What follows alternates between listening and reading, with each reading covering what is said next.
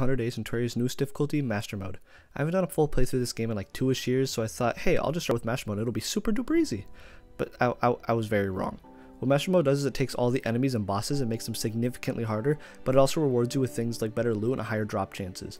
In this playthrough, I'll be trying to beat all the main bosses required for progression, along with a few side bosses if I'm feeling for it. I spent a lot of time in this video, so I hope you all enjoy. This is Terraria Master Mode.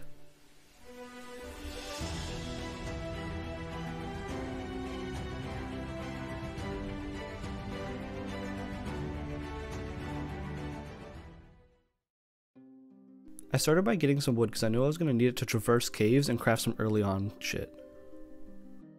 I knew this shit was going to be difficult because it took me ages to kill a simple slime.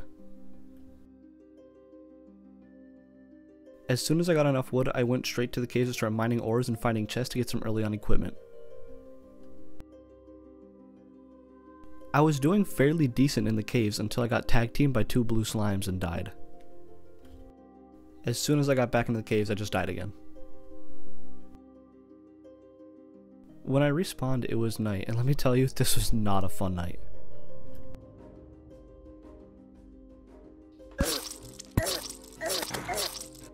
After dying many, many times, I eventually got to building my house so I wouldn't have to deal with this the next night, and so I could have a few NPCs move in with me. NPCs are characters that help you in various ways, and they all have some sort of unique requirement to spawn. I spent the entirety of day 2 building my house, and to be honest, I wasn't that happy with it. Day 3, I started my elevator, which is quite literally a straight hole to hell. I found a glowing mushroom biome on the way there and got some glowing mushrooms which will really help with health potions later on. I died quite a few times doing this and was barely finding any chests, so I decided to explore the surface to see if I could find anything better.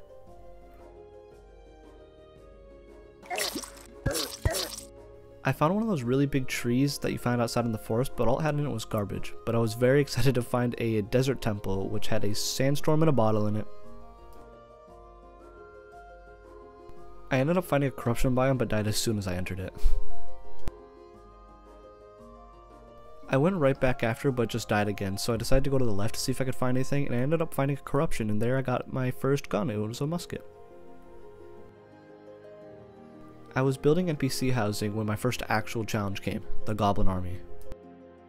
After a few deaths, I came to the conclusion that I am definitely not ready to take on the Goblin Army, so I just went down to the cage to continue my elevator, where I finally started to find some gold chests.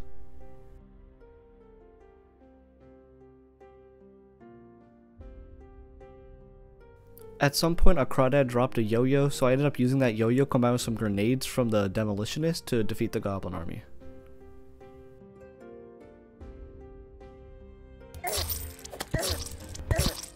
Eventually, I made it to Hell, where I was on a mission to find potions for boss fights, and the best way I thought of doing that was breaking the vases down in Hell, because they contain all sorts of loot. After all of my preparation, I thought it was finally time to take on my first boss, the King Slime.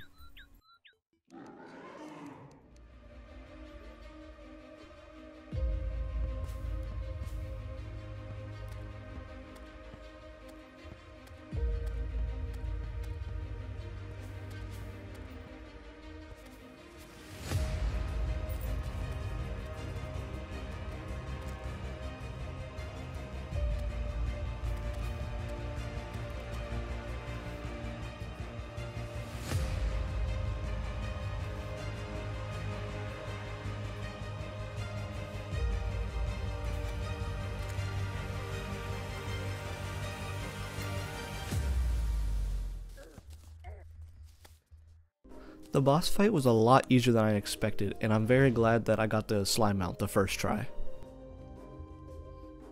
I got to work on the Eye of Cthulhu arena to make it a bit easier to kill.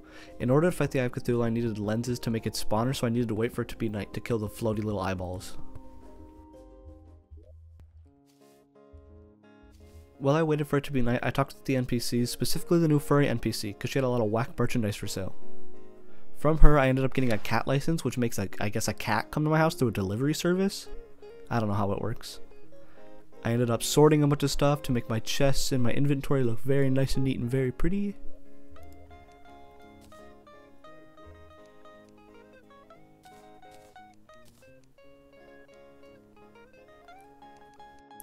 And overall, I just let myself relax for a little bit because I've been for, through a very stressful 8 days.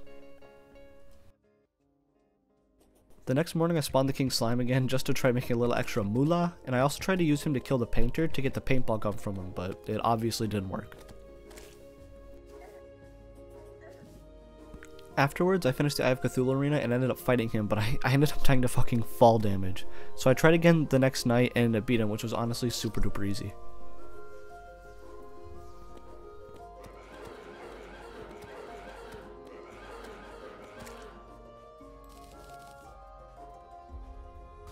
During the last two days I was fighting the Eye of Cthulhu, I ended up making the Eater of Worlds arena, which is just a big fucking worm, but I ended up dying to him about midway through.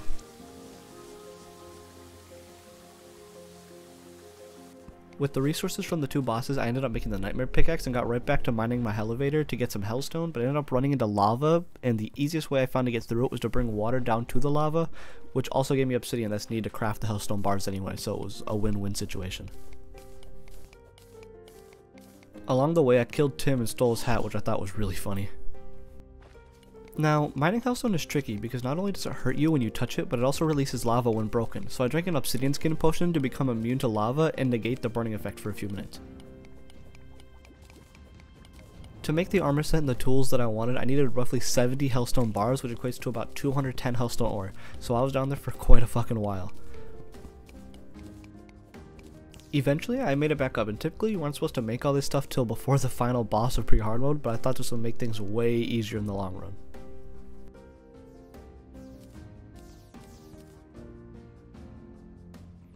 On day 12, I fought the Eater of Worlds again, but he despawned me leaving the corruption. I at first thought the arena wasn't the problem, so I went down to his realm to try fighting him, but obviously fucking lost. I challenged the big squiggly asshole one more time and ended up beating him early on day 13.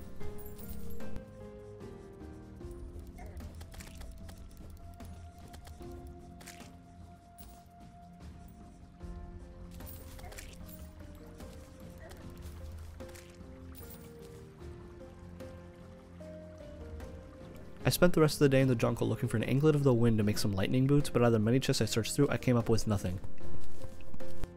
I did come across a jungle temple though, and died immediately to one of its traps, but none of this amounted to how crazy day 14 and 15 were about to be. A goblin army showed up out of nowhere which I made swift work of, I ended up buying a mini shark to kill a shit ton of king slimes for some more fucking money,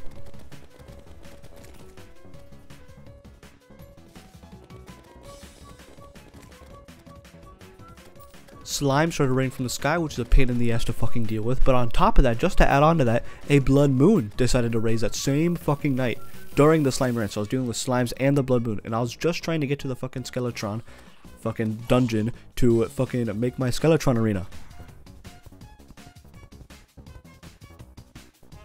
I thought things would maybe ease up on the next day, but no. On day 15, I deal with all the little fuckers from the Blood Moon, which allowed me to get zero progress done on my fucking arena. Slime was still falling from the fucking sky for whatever reason. Another goblin army. I'm telling you, another fucking goblin army spawned and fucked with me all fucking day. And just to top it all off, just to add the little cherry on the end of the cake, I lost the Skeletron fight. Because he de-fucking spawned. Okay, let me tell you for a minute how actually stressful that fucking was. It was fucking insane. I was so close to quitting the game multiple times. I was so pissed. But anyways. On day 16, I brought more water into the elevator and ended up finishing it and making a straight hole from the surface to hell. Later that night, I attempted the Skeletron fight again, but ended up getting stuck on his head. I really hated how my house looked, so I spent days 17 through 20 redoing the entire thing, so here's a little montage of that.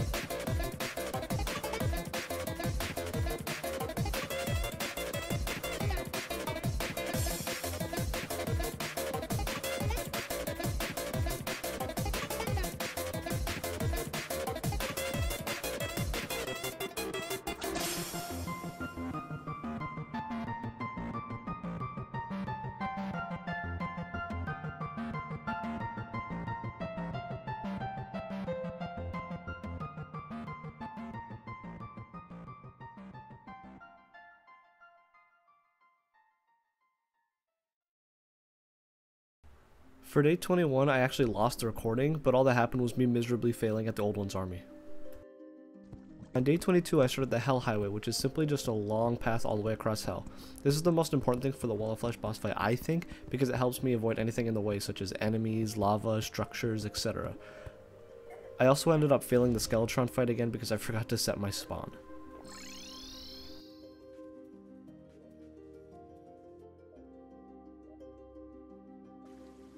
I was getting real sick and tired of the Skeletron at this point, so on day 23 I slept through the entire day and went to fight him one last time.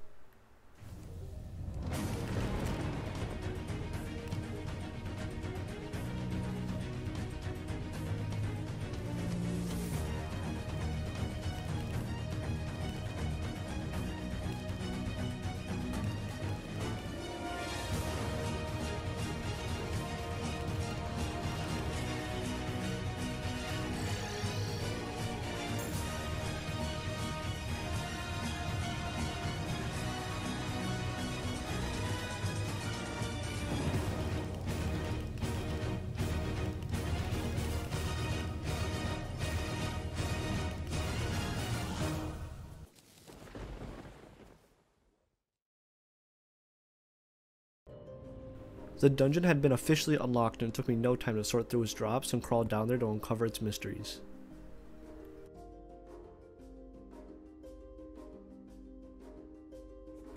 I was very unfamiliar with the whole trap system that was put in with the dungeon because last time I did it, the dungeon was, you know, normal, you just walk on through. So I ended up getting tricked quite a few times.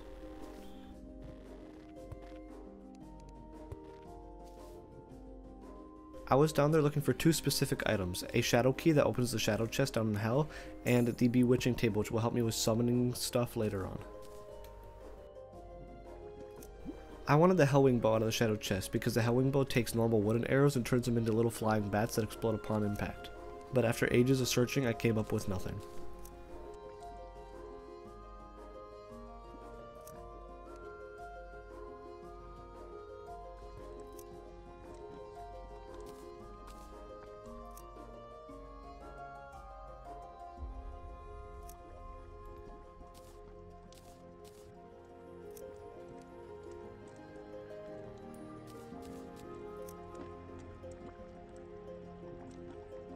For days 24 through 28, I worked on the Hell Highway and attempted the Wall of Flesh. To summon the Wall of Flesh, there are these little voodoo demons that carry on little voodoo dolls of the guide, and once the doll has been thrown into lava, the Wall of Flesh spawns.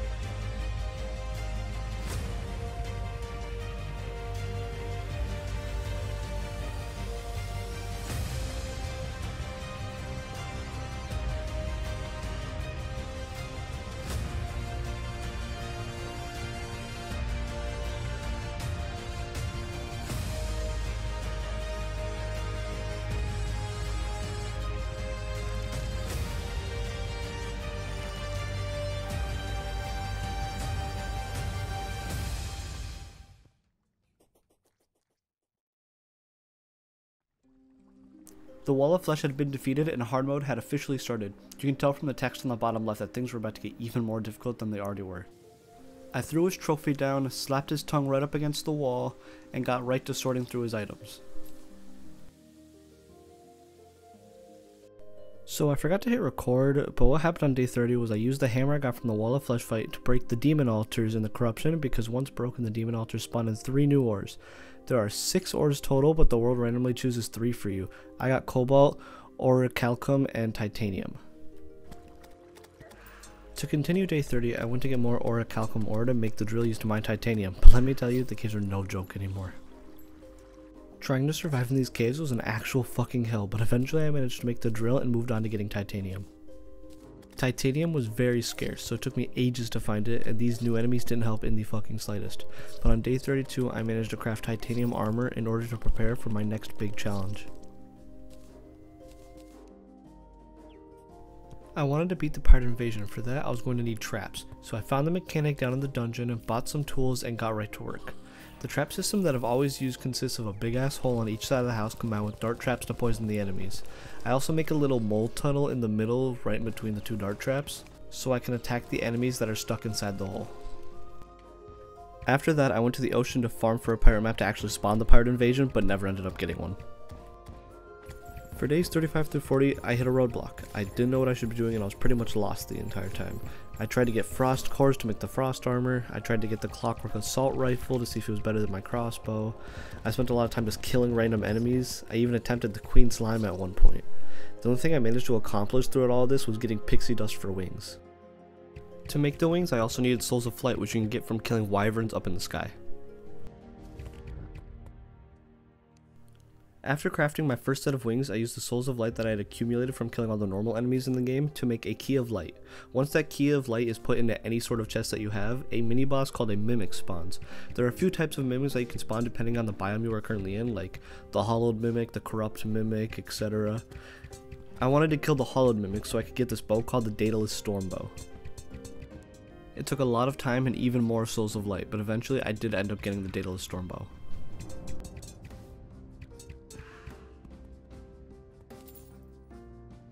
During all my mimic farming, I spent the time and got a spider staff so I some of these cute little spiders to help me fight.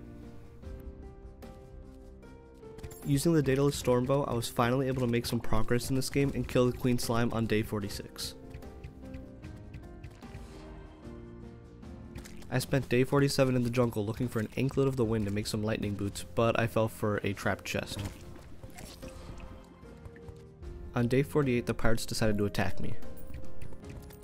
Due to their health being so high because I'm on master mode, it took me fucking ages to defeat this army. I didn't care too much about all these little enemies, what I really wanted was the Flying Dutchman to spawn. I wanted to kill the Flying Dutchman because he drops a Master Mode only mount called the Black Spot that allows infinite flying and it would become very useful later on in the game, but I did not end up getting it.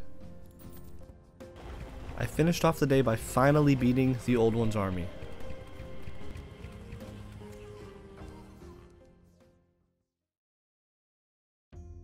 On day 49, I decided to start making some more housing for all the new NPCs coming into town. I didn't want it to just be a boring square on top of my house, so as I started building it, it just turned out to be a cat. Uh, don't don't ask me how my brain works.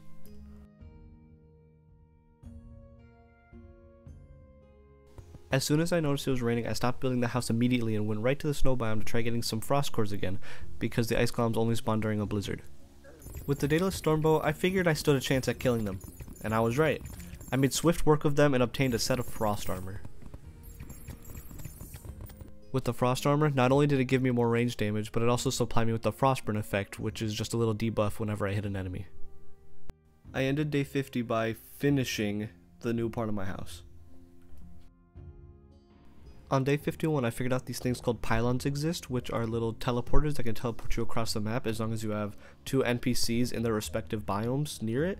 Um, I needed these fucking immediately because I've just been wandering back and forth all the way across the map to get to places, wasting all my fucking time and energy. So I spent days 51 through 54 building houses all the way across the map.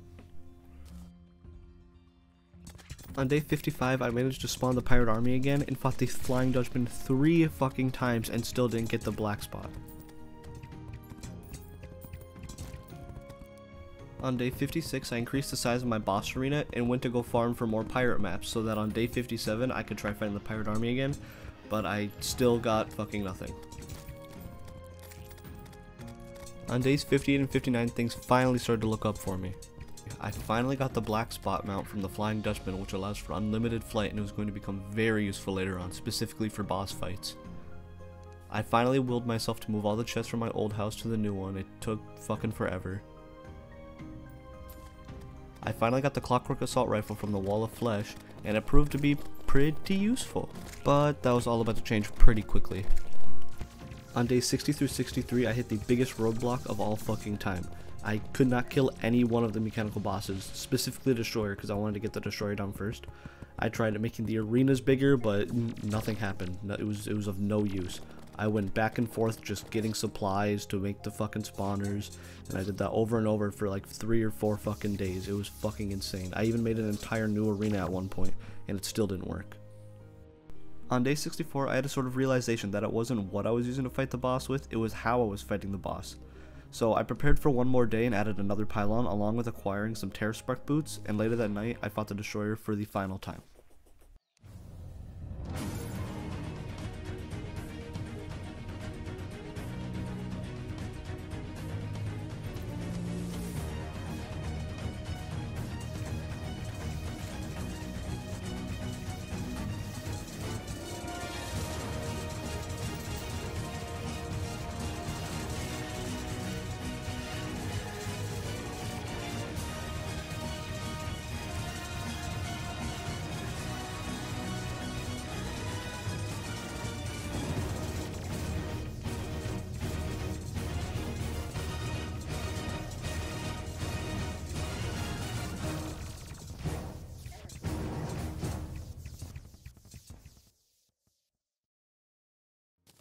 I finally beat the Destroyer after how many fucking days it took me to do it, and with the Souls of Might I got from him, I was able to turn my Mini Shark into a Mega Shark. With one of the mechanical bosses being dead, the Steampunker moved in, which allowed me to buy teleporters to build an upgraded arena with better movement. With the new arena in place, I figured I would try the twins fight to see if I could beat them, but I did not make the track nearly long enough. On day 68 I got to prepping for the twins fight, which basically just consisted of me doubling the size of my arena for the boss attempt on day 69. I was so fucking close to killing this boss, but I ran too far away and it ended up despawning. From days 70 to 71 I ended up fighting the twins a total of 4 fucking times. And one of the times after killing the little fiery eye, the other one was too far away from me and it ended up de-fucking spawning for a second time now. So that was fun. But on the fourth try, I finally fucking beat him. From the twins, I ended up getting a bunch of Souls of Sight, which I then used to create an Optic Staff, which is another summoning weapon that allows me to spawn a little mini version of both the twins. And I also got a cool little hoverboard. Late on day 72, I beat the Skeletron super duper easy, and on early morning of uh, day 73, I used the Souls of Might that you get from the Skeletron to make a flamethrower. Since I had defeated all three mechanical bosses, I went to the jungle to start farming for life fruits and chlorophyte ore. What the life fruits do is they give you a little bit of extra health, not too much, I think it's like 100 after you get 20 of them. And the chlorophyte is just the next ore. I ran into the queen bee in the jungle and I only ended up dying after killing her because I just wasn't trying hard enough. I was I was just doing I was I, I let her win. Day 74 started and ended with the same shit as day 73, but right there in the middle there was a solar eclipse and there was only one thing I wanted from the solar eclipse from these little ghost fucking guys called these reapers and it was his death sickle and with the death sickle I could hit enemies through walls and it was going to be a great advantage to have in the jungle. After a few days of exploring, I figured it was about time I start my Plantera boss arena, so on day 75 I went to the jungle and found the bulb and started getting that put together. For days 76 through 79, I worked on hollowing out this huge ass area for the Plantera boss fight. On the top of it, I put a long wooden platform to run across. I put teleporters in each four corners and wired them to teleport across the map from both the bottom and the top. And then I built a little nurse's house so I could teleport back to it for when I needed healing. This boss fight was easy as fuck, so I wanted to showcase how much shit it ate.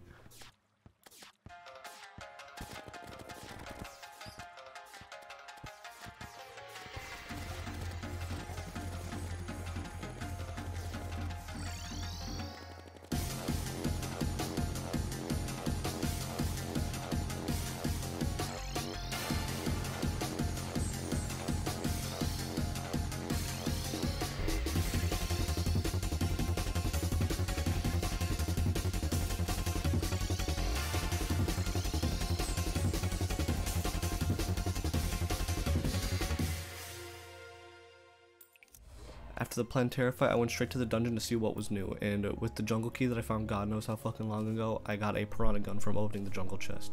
The dungeon was very fucking hard, but it was also very rewarding too.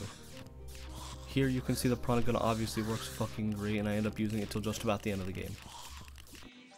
Ignore the Snow Miser, Heat Miser song in the fucking background. My friends ended up joining. But anyways, due to all the range buffs that would give me, I went got more Chlorophyte Bar. I went got a shit ton of glowing mushrooms. I made some Shroomite bars to make the Shroomite armor.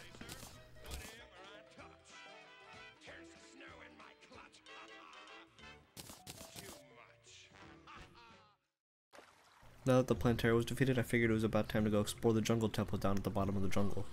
It took me fucking ages to get to the end, because not only did I have to kill every enemy in each and every single room in this fucking temple, but I also had to break each and every pressure plate to avoid letting go of any of the fucking traps on the ceilings or the walls. Once I finally made it to the end, I figured I would give fighting the golem a shot, but I died like a fourth of the way through. The next day I went down there to try fighting him again and I pulled the fucking moves on him. I had one heart for the ending of the fucking fight. It was insane. Later that night, I don't know what the fuck I was thinking, but I decided to try fighting the lunatic cultist and obviously lost. Day 85 was the day that I realized that I don't have much time left at all. I mean, I only had 15 days left before beating the Moon Lord, and I couldn't even kill the lunatic cultist. So for these next 15 days, I tried doing every conceivable thing possible in this game to prepare myself for this Moonlord fight. For day 85, I ended up spawning the Martian army, or invasion, to see if I could get any good drops out of the little Martian saucer guys, but I couldn't kill a single one of those either.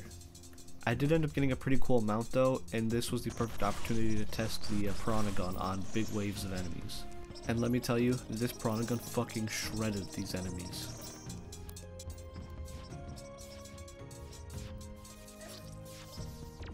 So I did a little bit of research on weapons, and on day 86 I decided to go farm the golem for this weapon called the Possessed Hatchet, and it turns out it works pretty fucking good. On day 87 I ended up finishing all of my life fruits to get that 500 health mark. For days 88 through 90 I couldn't beat the, the fucking lunatic cultist no matter what I did. And so I stole the idea from fucking Adrian, link in the fucking description, um, I needed stuff to dodge attacks, so I wouldn't be worried about taking as much damage. So one of the things that I needed was from the Brain of Cthulhu, but obviously I don't have the Crimson biome in my world, so I had to create my, my own Crimson biome. So what I did was I made a little graveyard next to the Druid, I bought the Crimson Seeds, and I started planting them everywhere. I ended up planting them in the desert so I could get these little blocks, I ended up making these little vials that I can throw around and it just grows it a lot faster. And I did that in the corruption, and I ended up making a, bi a crimson biome, farmed for vertebrae, and then ended up killing the Brain of Cthulhu and getting the drop. With me being able to dodge certain attacks, I got really close to killing him this one time, but I kept spawning that stupid fucking dragon. It was pissing me off. After getting the Brain of Cthulhu drop on day 91, I went to the dungeon to get the black belt from Bone Lee, and I ended up getting it somehow. I kept trying to fight him, but my only flaw was that I kept spawning that stupid fucking dragon. And what I needed to do was not spawn that, because as soon as I didn't spawn that, I would easily kill him on day 92.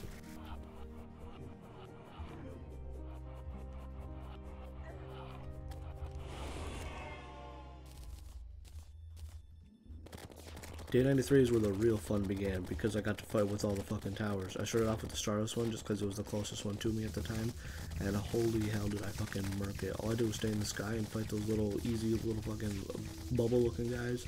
It was wonderful. I used the Stardust to make a Stardust Dragon Staff, and then I ended up using that staff combined with my Piranha Gun to absolutely murk and cheese the fuck out of the fucking Vortex Pillar. It was absolutely glorious.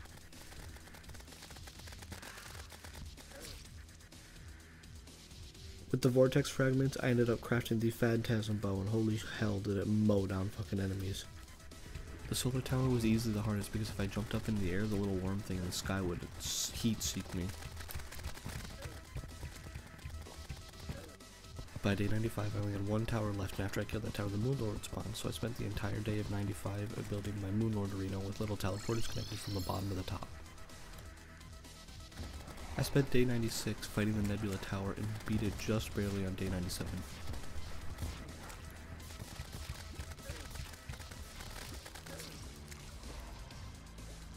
And since I beat all four pillars, the Moonlord spawned, and just as soon as he spawned, he disappeared because I ended up dying because I couldn't take him on.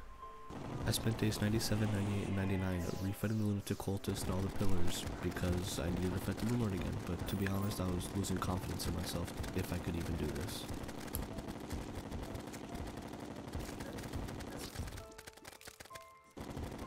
I fucking hated redoing this pillar, man. I fucking hated it. On day 100, I spawned the Moon Lord again, and I failed again. But I didn't just fail once, I ended up failing twice. I I didn't know what to do at this point. I do believe that my equipment was good enough. I think it was just my skill. But it was day 100. I had no resources left to spawn the boss again. I would have gone over the 100 day limit. So unfortunately, how as anticlimactic as it is, this is the ending of the video. I'm sorry if you expected some super sexy badass fight with me and the Moon Lord at the end, but I that just wasn't able to happen within the 100 days for me. But hey, there's always time for a part 2, right?